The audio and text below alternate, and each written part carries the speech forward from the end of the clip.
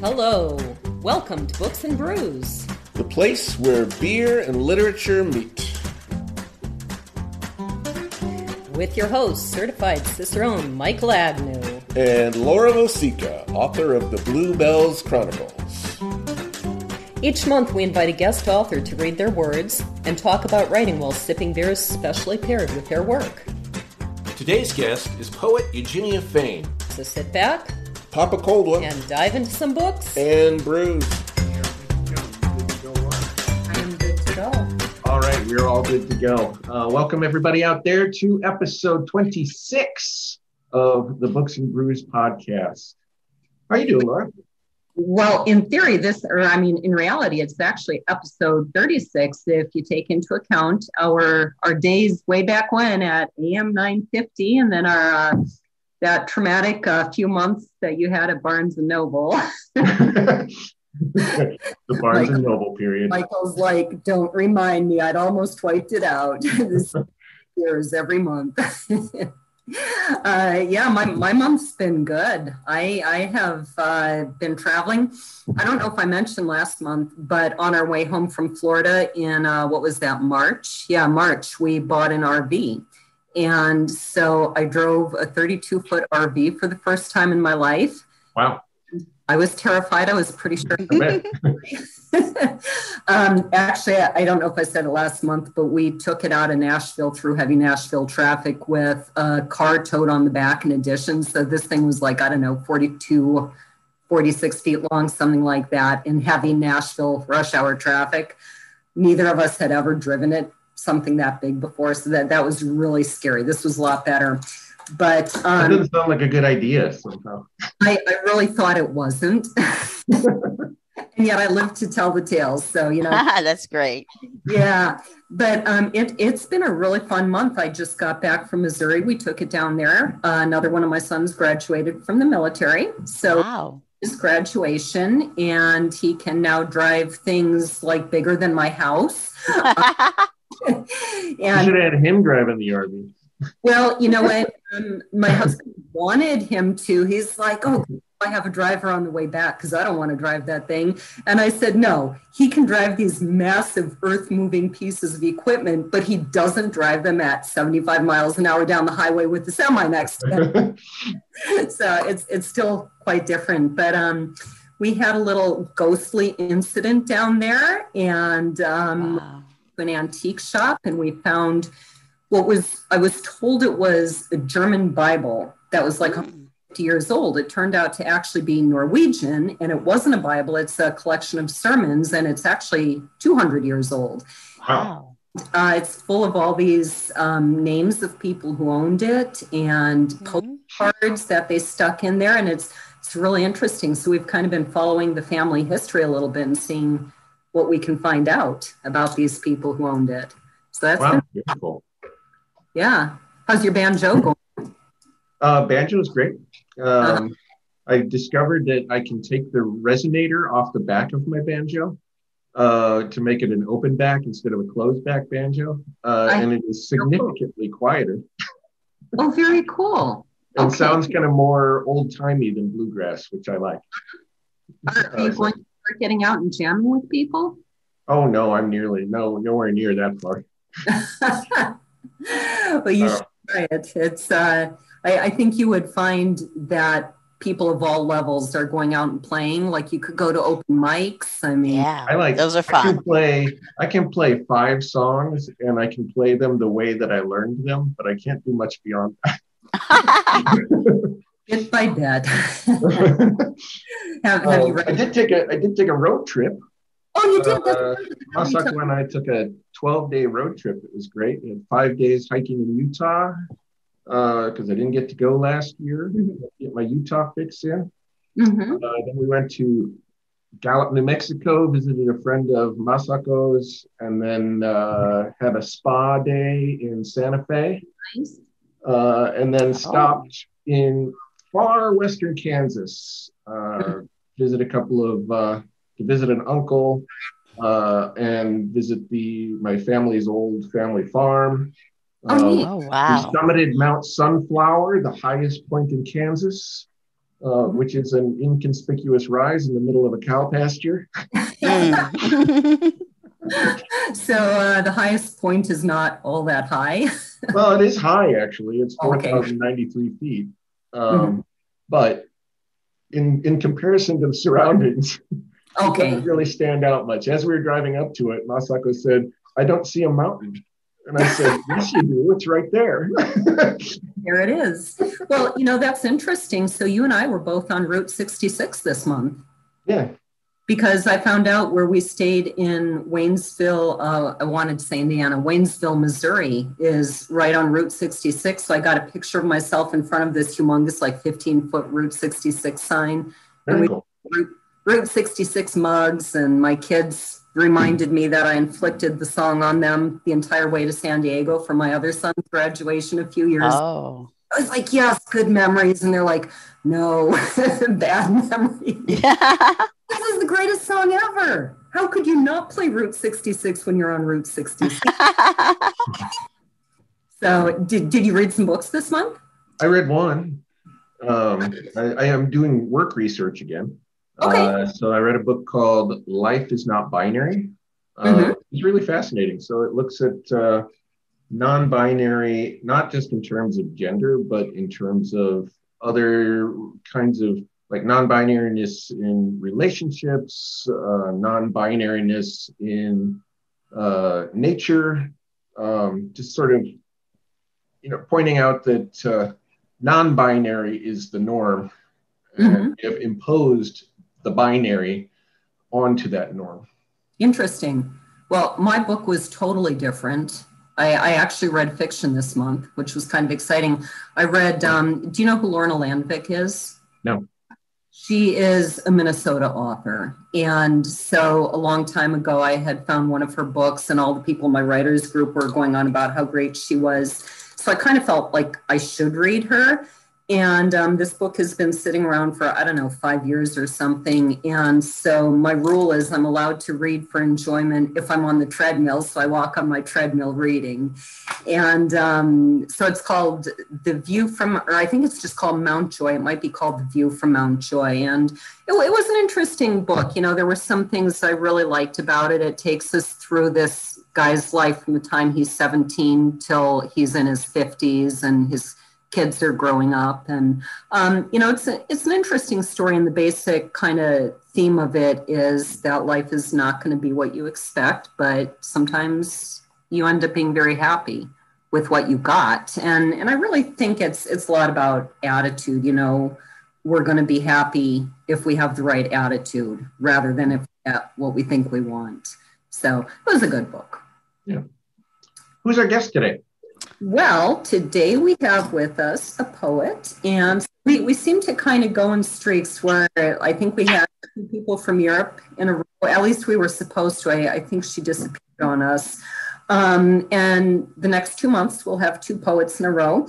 So today we have Eugenia Fain, and I assume I pronounced that correctly.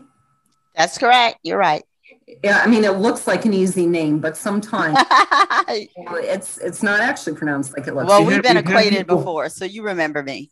We've Yeah, had that's true. from, we've had people from all over the place lately. Eugenia, where are you? I am in Columbia, South Carolina. I All right. um I was born in Charleston, and I heard you talk about your travels. And we, my husband and I, haven't been to Charleston in a bit. But one good thing about the Charleston is it's like New Orleans. They have the beautiful carriage tours, and they have ghost stories and lots of ghost tours.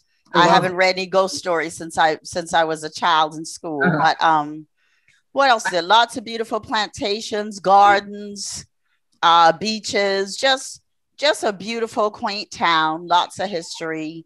Yeah, Mm-hmm. can I say I, I have Columbia, South Carolina, you said? I'm in Columbia right now. That's two Yep. hours from where I was born in Charleston. I have very fond memories of Columbia, South Carolina. So really? I I run a theater company and we tour to college campuses doing interactive issue-based shows. And for gosh, maybe 15, 16 years in a row, we went every fall to Columbia College. Oh, nice. Uh, and the women at Columbia College are still my favorite audience anywhere to perform for. Oh wow! Unfortunately, You said Columbia College. Columbia College, yeah. Okay, I I know where that is. Yep. Unfortunately, their enrollment dropped significantly, and we haven't been back there in I don't know five years or more. But uh, I still hold Columbia College dearly in my heart. Well, you know, I have uh, my husband and I have an older friend. My parents have passed away, but my my uh, my father was a military veteran and a war veteran. He's buried in the Beaufort National Memorial with honors. But um, I have a my husband. I have an older friend in the nurse on a nursing home here, and she said, oddly enough, just to, just a minute more to make some small talk, that Columbia College and their girls came by and did a senior prom for them. So she was so proud. Excellent. Um, Your Laura. I'm sorry, I interrupted you reading the introduction, so go ahead. Hey, this is a fun conversation. Uh, I just want to make sure we tell our, uh, you know, 45 million listeners who we're talking. Tina Fain is an author of poetry and prose. She is also a songwriter available on Amazon and Spotify.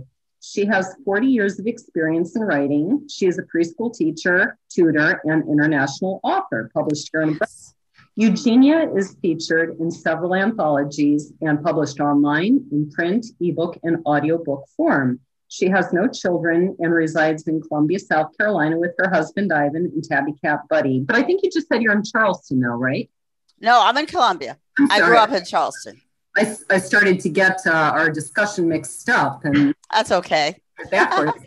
so, what's our first beer, Michael? Our first beer uh, is from Pryes Brewing in Minneapolis. Uh, it is a I it is a pale ale. You're going to hate this one, Laura. It's a pale ale uh, made with Citra hops called Course Correct. Um, the reason I chose this to go with this first poem is that this first poem is kind of a, it, as I read it, is kind of a reflection on life's journey uh, and the many opportunities to co- course correct, to change course, to think about, you know, this is what I was doing then, and then I changed, and this is these I got in these relationships, and then I changed. Um, so I just thought the name of the beer was appropriate for this poem, course correct. So, Laura, you're not going to drink that out of the can, are you? Oh, goodness, no. far more class than that. so, um, since you promised me I'm going to hate it, I only poured a little bit. All right, cheers. We'll see. Yeah. Yeah, it's not my favorite. Yeah, didn't think it would be. You don't like the hops. but it's, there's, there's a term I've heard. Uh, I, anyway, I won't repeat the term I've heard for beer that tastes like what I think this tastes like. so, uh, cheers, I guess. You go ahead and read your first poem. Okay, I'm glad we're ready. Cheers to you too. Okay. Um let's see. Immortality. This is a poem called a glose poem. Let's make certain we can see me. And I like experimenting with different things, old and new, something borrowed, something blue, just like for a wedding, or just like you might throw together all the ingredients that you have in the cupboard to make a, a little soup and just with leftovers and odds and ends. I often use inspiration from poets like Robert Frost and Dunbar and Langston Hughes and Shakespeare, Langston Hughes, just all over the place as I remember. And this glose poem, by definition, is a poem that takes four lines from a famous poem and uses the each of those lines as the last line of each stanza. So what I used was Emily Dickinson's "Because I Could Not Stop for Death." Okay, because I could not stop for death, he kindly stopped for me. The carriage held but but our sails propelling forward more and more. I'm sorry. Oh, oh my. Okay, there was a time on I, I actually don't have all this points, so I missed it. But and there was a time on my journey when I thought only of myself. I lived in riotous living abroad, squandering the time I had in the world. Far from home and the distant land, I sought to make my fortunes and to pitch my nomadic tent, always remembering the home I left as I tried to disguise the pain because I could not stop for death. There were strangers that I met. I endeavored to call every man a friend. Some had success and others defeat, so many of them just like me. I sojourned in the land of dreams, dancing to the drummer's beat. I did emit a mournful cry as the memories flooded back. I begged the rhythm to stop at once. He kindly stopped for me. Okay, I said I missed it, but what I'm going to do is I'm going to recommend that you go online as I have piqued your interest and that you finish that poem at allpoetry.com. My sign on is my wife 304. And if you go to allpoetry.com, where Kevin Watt is the editor, as the editor, that you can finish that uh, glose poem for me. But it's it's really one of my favorite. So uh, you. Oh, well, no, actually, okay. I do. I do. As I went along my way, I find some. I found love in the strangest places. Taking a lover by the hand, I tried to resume a dance. It helped me to have company as I traveled my lonesome path. The choices set before me. There was a solace come at last. We traveled bravely toward the dawn. The carriage held but but ourselves. Though we fought like wildcats, we were often overcome with fright, living as best we knew how. The devils our souls did, and our souls arose. Then, with fretful hearts, we drove through our destination shore, propelling forward more and more. But you know, go ahead and look it up on uh, allpoetry.com as well as the others. I, I actually went here. Well, as you know, I think we're we're connected on all poetry at this point, and I, I think you know which one is me, right? Mm-hmm. Poetry. Um, I think you've got what, like 530 poems up there? I do. I do. I've got a textbook full of poems. prolific. Um, I'm trying to remember his name and I can't believe it slipped. I just looked him up the other day. He was a, a friend of mine, or you know, I mean, for what that word is worth on on social media. But he was absolutely prolific. He had I don't know, fifteen hundred poems or something there, and I had actually set one of his poems called "The Reaper Man" to music. Oh, and and so I went back to get his permission to uh, you know play this on piano with the words. Mm-hmm I found out he passed away a couple years, which tells you how long it's been since I had been on there. But um, it was really neat to just see the outpouring of love for him. And I found his obituary online, and all these people from all poetry were there leaving comments. So it's it's a really neat place to connect with other poets and and make friends. Um, so uh, one of my questions had actually been for you to define a glose. Is it pronounced glose? I think you said. Glose, G L O S E. Um, and you did that before I even asked. But do you know the history of this form? I do not. That's something you can Google. Um, I don't. I you know I don't always write down what's what country the form originates in, but usually when I publish, I'll put the former poem. But I don't. You know, I don't tell you anything about how to write it or where it originates. But if you would like to study it or do one yourself, you can Google it. And one of my favorite editors is Robert Lee Brewster, B R E W S T E R. He has a wealth of information on poetic forms. If you just well, Google I, that. I I did look up the the various forms that you listed, and see, I, I didn't write it down in my notes. Um, I, I have a terrible short term memory. Like early write down, what did you do this month? I don't know. It's been a busy month. I might forget if I don't write it down. But um, I think the glose is the one that is uh, medieval Spanish form. So, but I'm going by memory. It's possible it's one of the others, but I think it is. That sounds about right. Yeah. Okay. Uh, I found that really interesting that even that long ago, they were, you know, creating so many different forms and they were doing this, this idea of borrowing, except really it shouldn't um, surprise me. I mean, you're, you're also a musician. So, you know, a lot of times it seems to go together, music and poetry. And in right. music, there was a similar thing that back in medieval times, nobody thought anything of taking somebody else's melody and they'd use it as their bass line and build a new melody over it. Right. You know, we would go like, "Oh my gosh, that's plagiarism." You know, you're you're stealing someone else's work, but to them it was just how it's done. So, th- that's always done, and I know in music a lot of times that the, the the performers will borrow you know something and use some lines from another famous song so you know they're just all sorts of things that that I enjoy. And I just had a before I talked to you guys, I just had a inspiration for a new song. So wish me luck and hope that it works out and I can I can get it maybe some some play and some attention.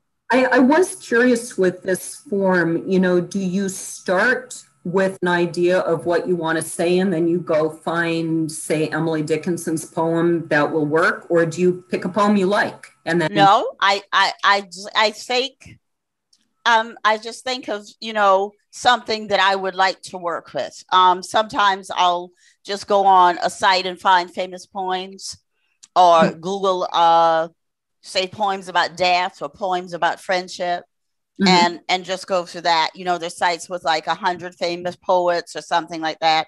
So it it usually works out pretty well. Um, I just pick something that I like and zero in on a verse that I think it would be, you know, the verse or the lines that I like to recreate into something new, and I just go from there. And you you work in a lot of forms. You know, as I looked at some of your various um, interviews or writings or bios online, you work with quite a lot of historical forms and forms around the world. And I'd say today, freeform is kind of much more popular. What is it that appeals to you about working in forms specifically? Just more creativity, just expanding my craft and and and and and getting those 530 poems. I actually have five more than 530. I have some lost poems. we talk about the lost years and the apocrypha has been lost for some time and discovered. But I have um, some other poems that I started off with. Um, was was was an earlier publisher and and that I, that went back to Thailand and published me. And not all of those are immortalized online. I started with Kevin Watts community and all poetry a few years ago. And so okay. that's what I have really amassed in the last years. But I have maybe um a hundred poems that that I have not immortalized online because I don't have them anymore. They're you know they're in the library at my schools, but I didn't um I didn't catalog them for online. But you know it's okay. I have enough online. so, it, as I think about your question, Laura, it's like for me, imposing a structure mm-hmm. uh, helps my creativity. You know, I find it gives really me boundaries, gives me limits that I have to find ways to work within. Right. I find it really interesting that both of you say that. And I, I think so too. I, I love working in forums, but I think a lot of people today feel the opposite that they're being constricted in a box and they feel it hinders their creativity. But one of the things that I read years ago about the, the early poets working in free form was that the reason they were so good at it was exactly because they had spent so much time working within boundaries, within rules, that they really had to find ways to deal with so many things. They had to find creative vocabulary, images. Um, they had to think about rhythm and flow and all these things. So I think those early uh, poets of free form would agree with you, but I think a lot of people don't see that today. Well, yeah, I, I do free form. I do all sorts of poems. You know, some of them may not be as as mature to the credits mm-hmm. as others, but but I um um you know I have over a hundred solid poem forms and there there's more than that. So um some of them i couldn't figure out very readily. They were more challenging but mm-hmm. but you know brewster lists about 168 that's the most i found. There may be more but brewster research like that. yeah. and i have at least 100 so i'm well on the way. really interesting and really challenging. But no I, I agree too that free form absolutely can be done very well. Mm-hmm. um, I just I wish that people would work both ways, you know, because both have their benefits. But I think forms are not as highly regarded today as maybe I think they should be. um, you know, one one last question. Unless I mixed up the many things I was reading, you were published when you were 11 in right. technology. How in the world did that come to happen? Through the mail. I don't know. I don't know how. I got a lot of great opportunities in the mail.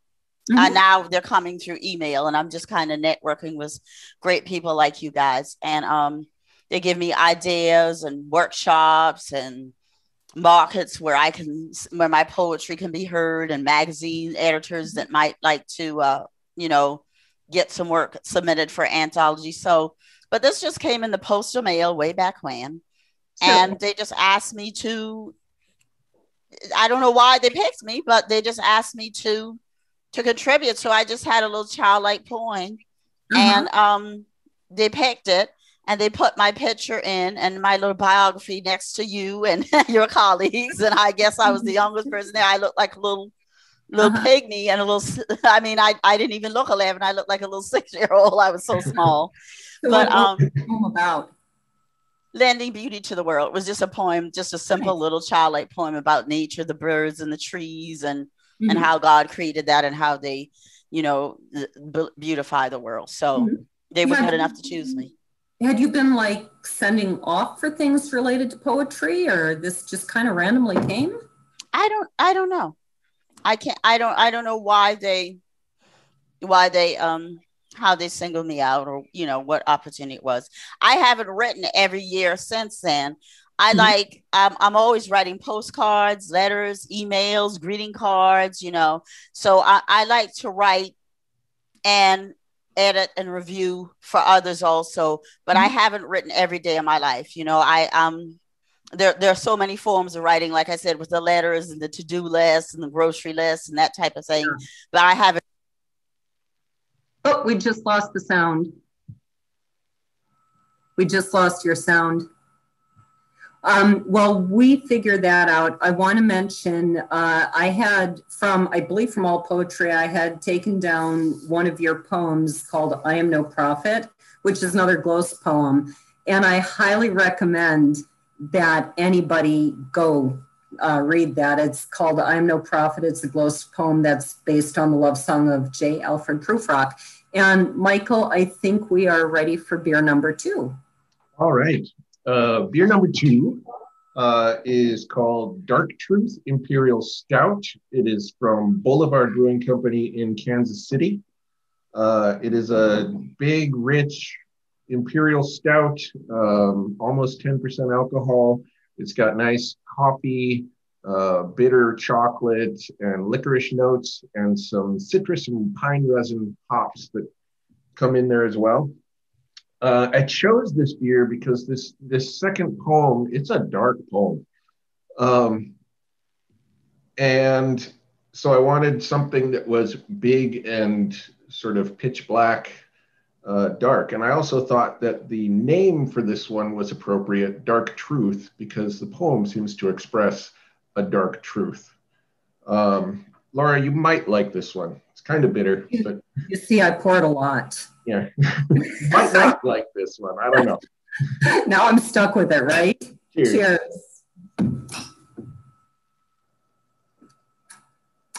See my uh, frothy mustache there? I do like this. Okay, good. I- Wasn't I sure because it, it's pretty bitter, so I wasn't sure if you were going to like it or not. I, I do. I, I would definitely buy this again. In fact, uh, way back when we bought, uh, I don't know, a couple boxes or a case or whatever of that Manhattan Social that we Oh, did wow. back in January. And um, I'd sort of forgotten about that, but I was enjoying that for a while, like even apart from Books and Brews. Nice. So, um, Eugenia, you are muted. And Michael, were you going to talk about the beer? Uh, I did. You did. I said what I had to say about it. you just didn't say a whole lot about it. We are ready for poem number two. Uh, I'm. Yeah, we still don't have your audio for some reason. Yeah. I tell you what, I'm going to call you and just read it over the phone. I lost my sound, but we're gonna get it. Yep. Okay. Should I take off my headphones and use the phone? Uh, yeah, because for some reason you're not coming through. Okay. Well, I'm glad you had a backup plan. I always, I have nine kids. I've got backup plans upon backup plans. Big family. Okay. A song of despair, a Viator poem. Sing a song of despair, a party campaign. Let it ring forth through the rolling hills. People will hear. Sing a song of despair. Many will join in with their own lament. Beat the solemn drums and march into the assembly. Sing a song of despair. Let the cadence roar.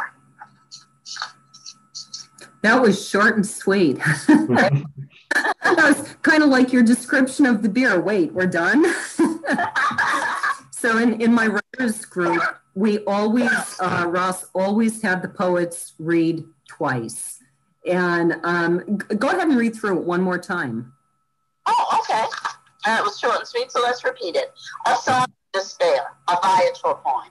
Sing a song of despair, a party campaign. Let it recourse through the rolling hills.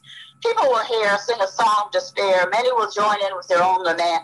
Beat the solemn drums and march into the assembly. Sing a song of despair. Let the cadence roar. I like that one a lot.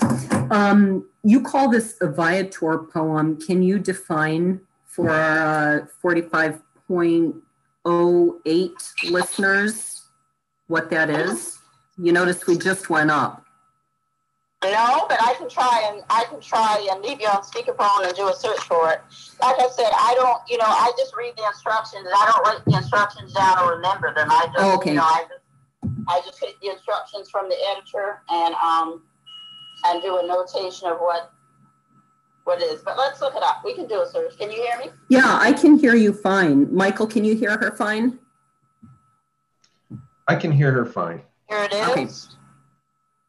Poetic forms. It says the Viator is a poetic form invented by Robin Skelton, author of The Shapes of Our Singing. You want me to go over the rules for you or just Um, Yeah, go go over the rules for our readers. I mean, our listeners. The first line is a refrain. The se- refrain appears as the second line of the second stanza, the third line of the third stanza, and the final line of the final stanza being the refrain.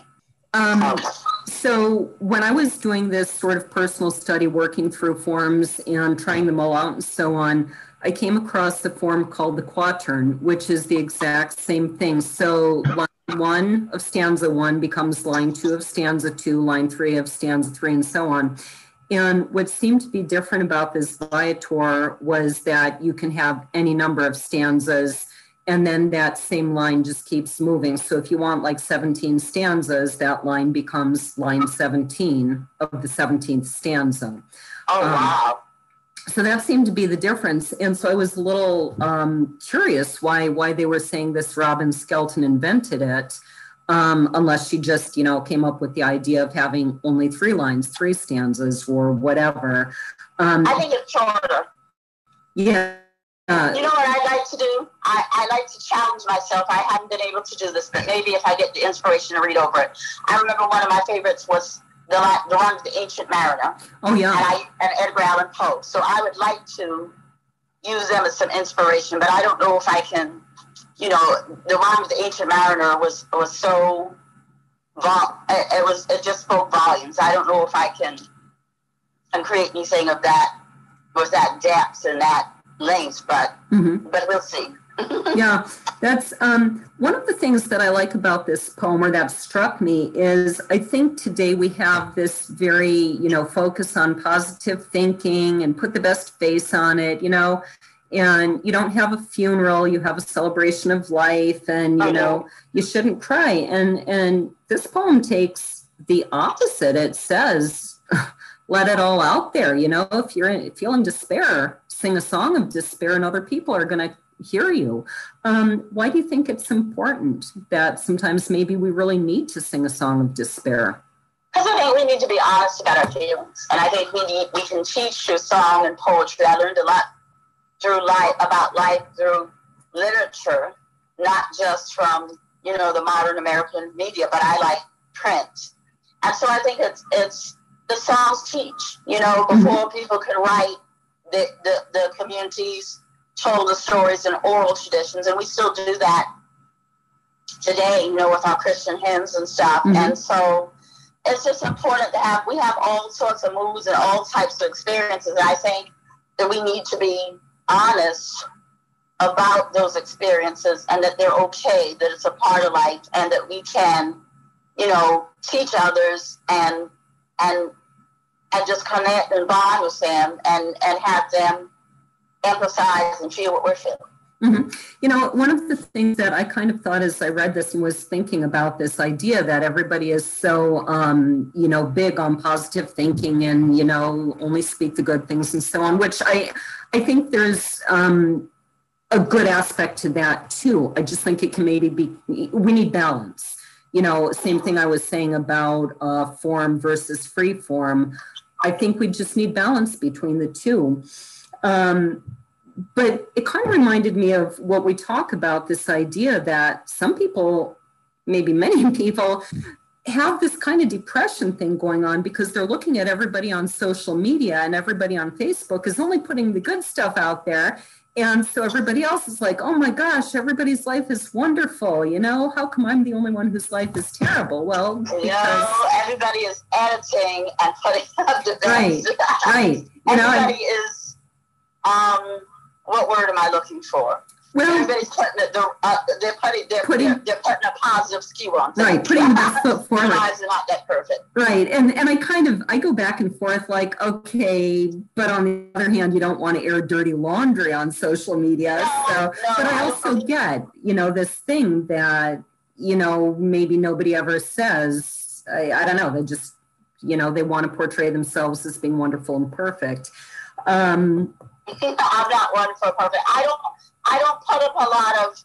You know, I, I don't. We don't. My husband and I. We don't put up a lot of comments about mm-hmm. everything going on in the media. Mm-hmm. And you know, I had experience at just to aside. Maybe not, my husband tells me move on, forgive myself, and he doesn't doesn't look down on me. But I had experience with with the job, and we where we were working with the children, and my my director was in charge of class, and she made an error. Mm-hmm. The media lambasted us for 21 days and oh us down so badly yeah, that my yeah. boss couldn't hold her head up. So I try not to post a lot of political comments or something mm-hmm. that's controversial or or you know that's going to get me in trouble or get me fired yeah. or censored. Yeah. But I, I try and I'm not perfect, but but I don't I don't get down a journey with everything that's going on, you know? yeah. I have one last question, um, kind of, re- well, I mean, it's related to poetry in general. And, you know, you, you had me looking up these various forms, and it got me to thinking about some of the forms I studied a few years ago, um, particularly some of the medieval bardic forms, because my writing is set in the world of medieval Scotland. And so I wanted to read you the rules of um, one of them, this is called Seadna. Um, it's spelled S E A D N A, but it's pronounced Shana because it's a Gaelic word. So alternate lines of eight syllables with two syllables ending and six syllables with one syllable ending. So um, you've got, you know, line one has to have eight syllables and the last word has to be two syllables the next line has to be six syllables and it ends with a one syllable word. Right. I mean, these are very specific. Lines two and four rhyme. Line three rhymes with the stressed word before the final word of line four. Uh, two across rhymes with the second couplet. I'd have to go back and read what that even means anymore. And you need alliteration in each line. I mean, I this this was a medieval. Like I said, there are other forms that I, I couldn't get the hang of because they were not as simple with all of those rules, the alliteration and the mm-hmm. internal rhyme. So, you know, um, Why? there are things I couldn't get the hang of. And like with my, I tried a couple of sonnets and mm-hmm. I wasn't, I know that I can look up the, the words and see and, and the definition of syllable counter, but I was kind of concerned that I didn't have that the stress and the meter that I uh-huh. wanted was the, was the, was the every other syllable being stressed. Yeah. I had the, the number of syllables and the number of lines and the couplets and everything at the, at the end. Well, my, my question was, you know, we've, we've talked about working in forms and why it does this, but people have been doing this for centuries, you know, making up sometimes very complex rules. Why do you think people are drawn to create all these rules and all these forms? I don't know. You know, there are some modern American forms too. Mm-hmm. Um, yeah, seen, like for one, one I remember that I, I don't remember the rules. We can look at, but it's a Nasher's poem. A what? So Nasher's, N A S H E R S, and that's like, you know, that's much later in, in time period than than um, you know, than some of the earlier right. centuries. Right. Yeah, but so um anyway, that's, I mean, actually, you know, my husband actually created a form just a few weeks ago, which is kind of a neat form. But um, we are ready to go on to beer number three already. All right. Uh, so I have to say, Laura, that last uh, sort of convoluted form that you described It sounds like my kind of poem because as a writer, I love alliteration. Mhm. Uh, but I have been told that as a writer, I tend to use too much alliteration. So, so Um, alliteration in every line, let's bring it. Bring it on. But wait a second. The last thing I knew you wrote was your beer travel books. Were you using alliteration in those? No, there wasn't much opportunity for alliteration there. Although I can come up with opportunity anywhere, really. No, uh, I'm curious. Well, you also write uh, for what the Growler. You write for the Star Tribune. Star Tribune. Uh, I write a lot less than I used to, but I used to write in Okay. a whole lot of venues. Uh, so beer number three is from Bent Paddle Brewing in Duluth, Minnesota. It is called Black Ooh. Ale. Um, it is not exactly what I wanted to find, but no breweries make what I wanted to find anymore. Beer styles come and go. Um, and the black IPA was super popular several years ago and then since has faded away and they are really hard to find these days because i don't know. Nobody wants to drink them anymore i guess. Um, but this is the closest i could find to a black ipa it's they call it a, uh somewhere between a porter and a stout. I don't know about that uh, but that's what they say. Uh, it is a black ale and it's uh, let's call it an american black ale. It's black ale. It's got uh, some the the typical things you would expect from a black ale, the coffee and the dark bitter chocolate. Um, but it's also got these bright kind of citrusy hop notes that give it a little bit of highlight. Uh, I chose this because this is another poem that kind of comes from a dark place. Uh, but as opposed to the Song of Despair, this one has this sense of perseverance, of redemption. There's there's light in there. There's there's uh, like a, an, a, the ability to carry on. Um, so there there's the positivity in in the the place of mental and emotional darkness. So I see the the dark beer, the dark beer flavors, and that bright hop as kind of expressive of this poem. So cheers. Yes. Um, they kind of look the same. One here. They don't taste the same. No, they don't. That You might like this one too. I, I do. I think I like the other one better, but I like them in very different ways. So maybe better isn't even the right word. I, I do like this one. So um, I'm going to have a long day of uh, Day drinking. well, that too. That that too. I've got a lot of um, just cleaning and organizing. As you know, I'm still in the process of moving in, but we're also actually looking at moving again. So um, I'm going to be repacking. so a lot of hard physical labor. So you know, lots of opportunity to drink beer today. So You're gonna be a busy woman. yes, Just like root beer and RC cola. yeah. My my love love love root beer. We we always have root beer for them. Go ahead with poem number three. This is called dancing. And Okay, I'm on Sunday point, dancing. Dancing in the midnight air, I am free. The, da- the dance will soon end just around the bend. My heart feels dismay, was nothing left to say. I twirl in the night despite all my mind's fright. I listen to the song just playing along. It is my desire to walk on the tight wire, like an acro- acrobat high above a dense mat. So I take a chance to find a new romance. Then in haunting of the deep nighttime hour, I began to feel a surge of power. The end. the end. Um, so dancing is in the Mas, Mas, Masnavi, get my tongue around that, the Masnavi form. And when I dug into that, it's one that was used by Rumi, and it is, I believe it is couplets and typically about love or God.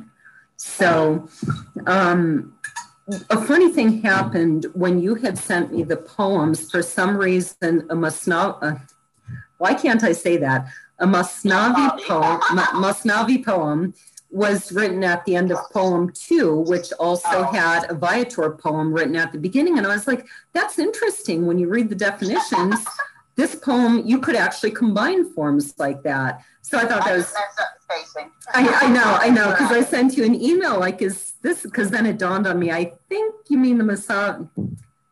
Will somebody please say that word for me? Masnavi.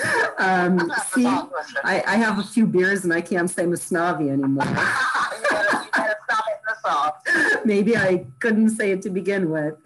Um, so I think I asked this of a poet, I don't know, a few months ago, um, not that long ago.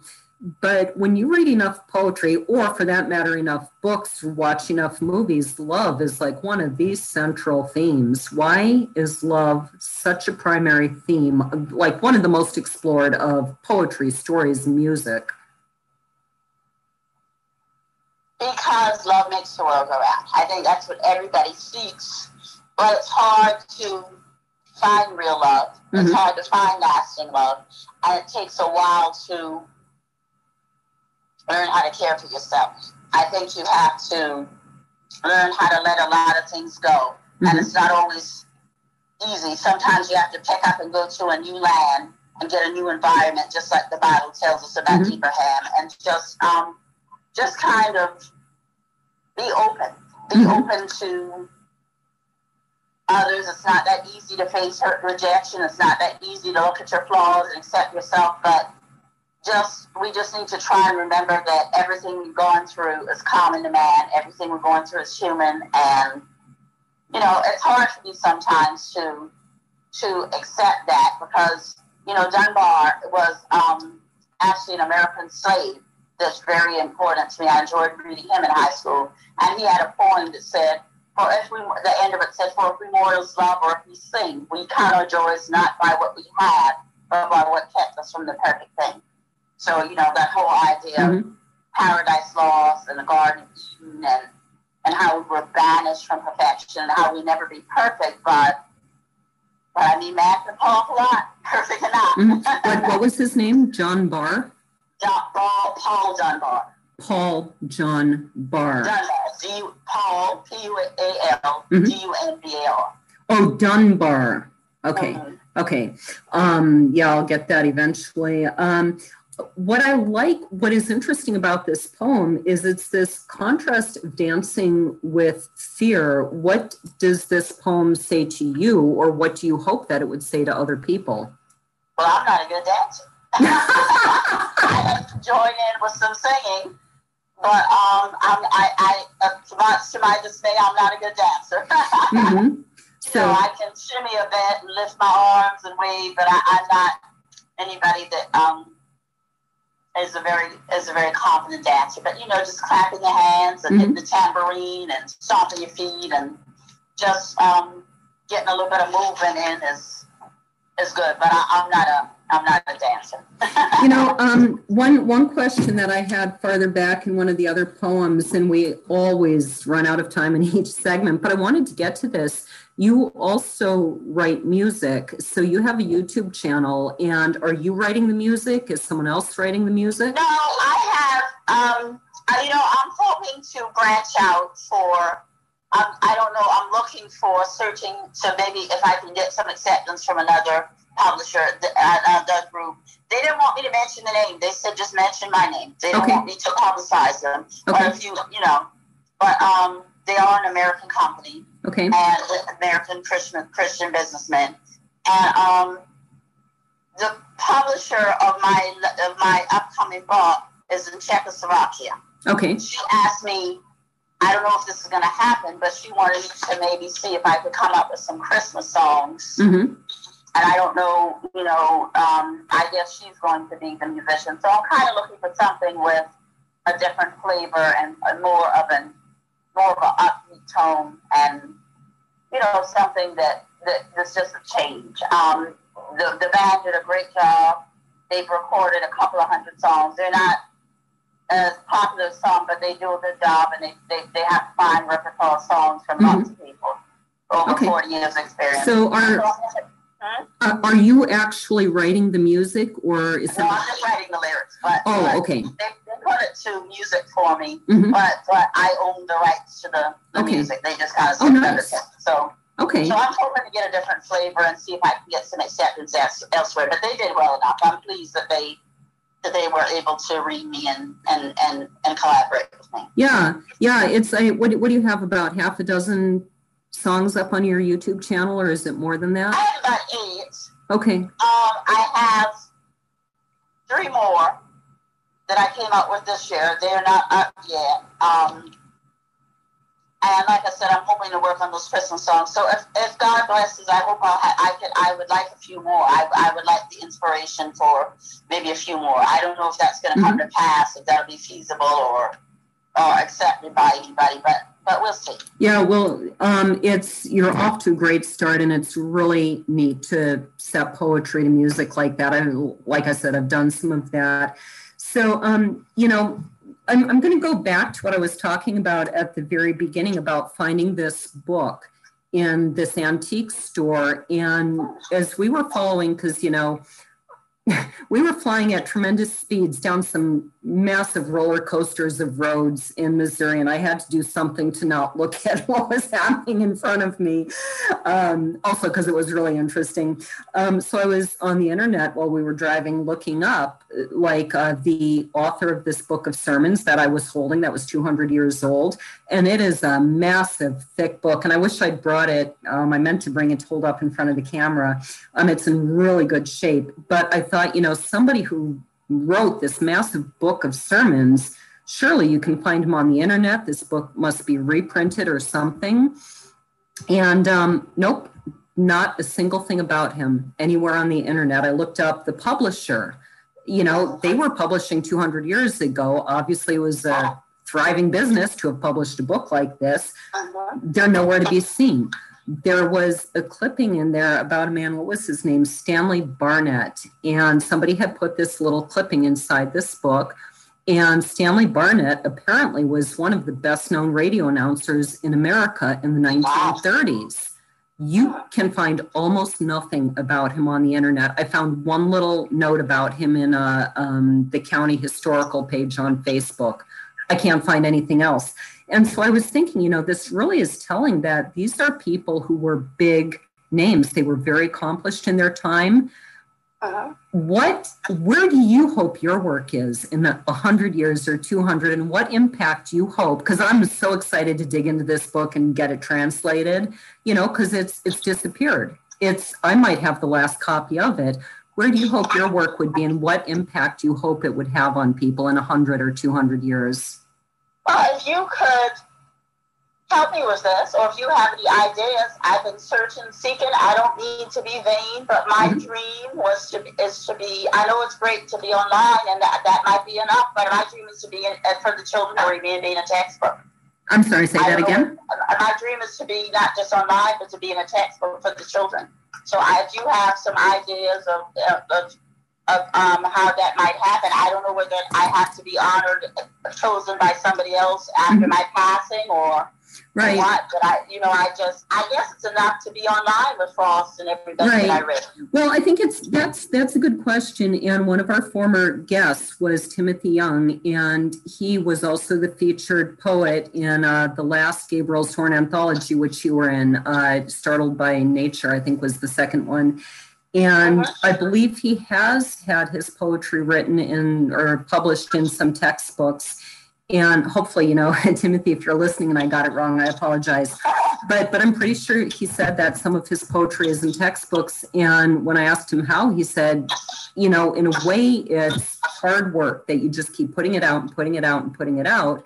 But he said the other thing is when you put out enough, eventually somebody sees it and picks it up. And so it's kind of a combination of dumb luck and hard work, you know, that you just put out enough and hopefully it starts coming to the right attention. Or, you know, I suppose you could solicit too and contact. You know, I, I actually have a friend in, I think, Nebraska who writes textbooks, but he's in sociology, not not English Okay. or, yeah.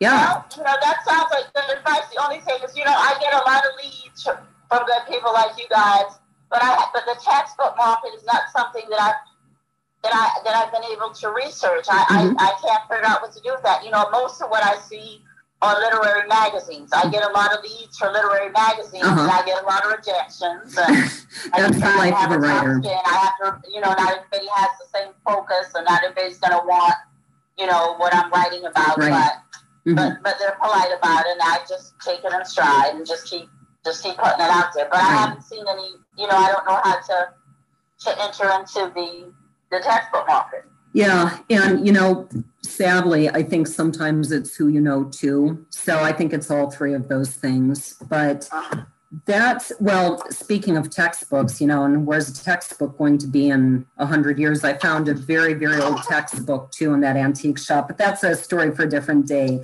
Um, I may have the last copy of that textbook too, because I imagine most of those.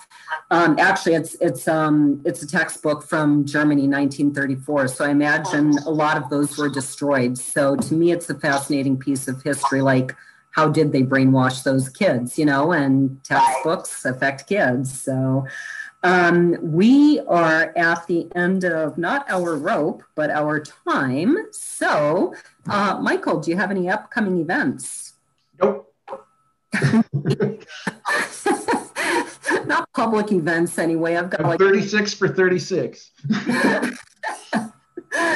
Uh, so uh, the only thing I really have going on, you know, that would be of interest to our 48.08 million listeners is that Gabriel's Horn is accepting submissions for 2021's anthology, which is Startled by Love.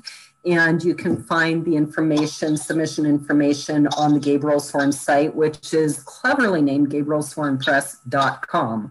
Um, I don't know how I thought that one up. uh, what, what are your links, Michael? Uh, I am at aperfectpint.net and aperfectpint on the various socials, although I haven't done anything on the various socials in a really long time. Um, we are at booksandbrews.net. We're at Book and Brews on Instagram and Books and Brews with Laura Vosika and Michael Agnew on Facebook. Laura, Yeah. where are you? Um, I'm at lauravosika.com, and I believe if you put in bluebellschronicles.com, that probably also takes you there.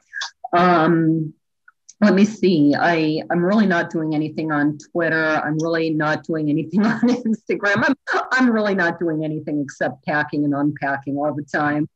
Um, and Eugenia, where can people find you? You can Google my name, Eugenia Fain. I'm on Amazon. I am on allpoetry.com and just, you know, just look me up. Just Google my name and I'd appreciate if, you know, somebody would be kind enough to give me an Amazon review and um, or leave a comment on All Poetry. I always love hearing and receiving from comments from people all around the world. And. I believe your handle at um, All Poetry is at My Wife 304. That's correct. Okay, so Uh, who do we have next week or next month? Whatever, whatever period of Whenever. I mean- we do this in. right, the way we do this, it could be next week. Um, so coming next month, we have another poet, Ernie Brill, who actually was also in the Startled by Nature anthology. Ernie writes fiction and poetry. His breakthrough collection about black and white hospital workers was optioned and adapted by Ruby Dee and Ossie Davis for their PBS series with Ruby and Ossie. Miss Dee performed to critical acclaim. Mr. Brill obtained his BA and MA in English from San Francisco State University and was active in the 1968 to 69 historic student strike against racism that established the first school of ethnic studies in the world. He has published fiction and poetry widely. Um, so some of the places are River Styx, Other Voices, Word Peace, Oxford University Press, Prentice Hall, Ontario. His favorite writers include Virginia Woolf. I am going to completely mangle these names, I'm afraid. Mahmoud Darwish, Hyasun Kim, and Richard Wright. I'm especially concerned about my pronunciation of the last one. Do you think I got it? I don't know. I'm sorry, Richard, if I messed that up. All right. Uh, I want to thank everybody out there for tuning in this, and I want to thank you, Eugenia, for joining us. Uh, it's been a lovely conversation. Uh, this has been Books and Brews, episode number 26. Cheers. Cheers.